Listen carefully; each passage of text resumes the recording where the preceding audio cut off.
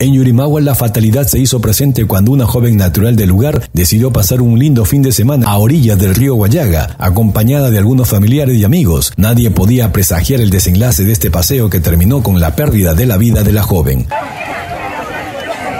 La UCISA respondería el nombre de Stephanie Angulo Masifuen, de 18 años de edad, al parecer madre de familia, por lo que dejaría a un menor de edad en la orfandad.